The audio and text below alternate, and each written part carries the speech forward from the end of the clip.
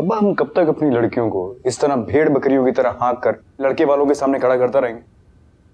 बेटा यही रीत चली आ रही है जमाने की। तो फिर बदले ना इसे। और खुदा का वास्ता है बाप पहले लड़के से खुद मिल लिया करें कि वो इस काबिल है भी कि माला को उसके सामने खड़ा करें या नहीं ठीक तो कह रहा है चाँद।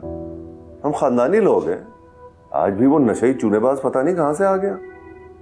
माला के सामने तो अगर टॉम क्रूज भी आ जाए तो उसको पसंद नहीं आएगा क्योंकि उसके सर पे तो बेस्ट प्लेयर बनने का भूत सवार है। फिर पूरा करने देना उसे अपना ख्वाब बाबू भैया। अब उस नालायक हाशू को तो आपने टिकटॉक पर उधम मचाने की इजाज़त दे रखी है। सलीम वो लड़का है। समझने की कोशिश करो। और फिर माला को बास्केटबॉल क्लब ज्वाइन करने का शौक तो पूरा करवा दिया ना? इसी बात का तो दुख है। हम लड़कियों को पर तो देते हैं लेकिन उन्हें भरपूर प्रवास करने के लिए वो आसमान नहीं देते। हमारी सोसाइटी लड़कों को देती है। जब तुम अपनी बीवी को वो आसमान दोगे ना तो मैं देखूँगा। अब बस सिर्फ़ आप ही नहीं बल्कि पूरी दुनिया देखेगी इंशाल्लाह। इंशाल्लाह। इंशाल्लाह इंशाल्लाह। ओ बाबू भैया वो याद आया नया केटरिंग का ऑर्डर आया जरा मुझे मेन्यू सेलेक्ट करने में हेल्प करें। काम की बात होगी ऑफ़िस में प्रोफेशनली क्या तुम्हारे पट्टे अकड़ गए हैं? एक्सरसाइज सारा वक्त तुम ये वाइब्रेशन मोड में रहते हो हैं? इतनी एक्सरसाइज करके क्या करोगे? तो क्यों लड़े हो मेरे लिए यार?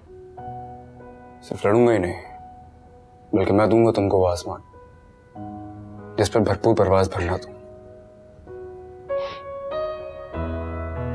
Thank you the best brother ये तुमने फिर मेरा परफ्यूम लगा लिया। मैंने तुम्हें मना किया ना कितना एक्सपेंसिव है पता है तुम्हें? थर्टी फोर थाउज़ेंड का ना? तारा ने गिफ्ट में दिया ना क्योंकि जितने तुम कंजूस हो ना तुम में इतनी हस्ती नहीं कि तुम कोई मस्ती कर सको। तुमसे बाद में बात करूँगा चोरी पहले मैं तारा को बताऊँ कि तुम्हारा परफ्यूम क्या यूज़ करिए हटो।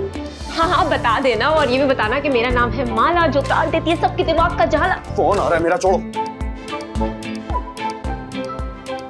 यार एंबुलेंस वाली बात पे तो उनका गुस्सा खत्म होने को ही नहीं दे रहा। हाँ और इसी गुस्से का फ़ायदा उठाकर उसी एंबुलेंस में तुम्हें डॉक्टर अक्षर के साथ रुखसत कर देंगी वो। उस पर तो बहुत ही फिदा है वो। हालाँकि उनका फोकस इस बात पे होना चाहिए कि उनकी बेटी किस पे फिदा है। मेरी ज़िंदगी का रिमोट कंट्रोल हमेशा से उन्हीं के हाथ में रहा है। आज तो मौका मिल गया उन्हें। तुम्हारी भी तो बचकाना हरकतें खत्म होने का नाम नहीं लेती है तारा। क्या करूँ? एकदम से मचल उठता है मेरे अंदर का बच्चा ऊट पटांग हरकतें करने के लिए। जैसे इस वक्त मेरा दिल चाह रहा है पास्ता खाने का। पास्ता? इस वक्त? मम्मा कहाँ वो तो नींद की दवा खा के सो रही हैं। तो बस तुम भी पास्ता का ख्याल दिल से निकाल के सो जाओ। तो वॉट की कोई सोल्यूशन निकालते हैं हड्डी जोड़ तोड़ का यार अच्छा। होम डिलीवरी लेने चले पास्ता की?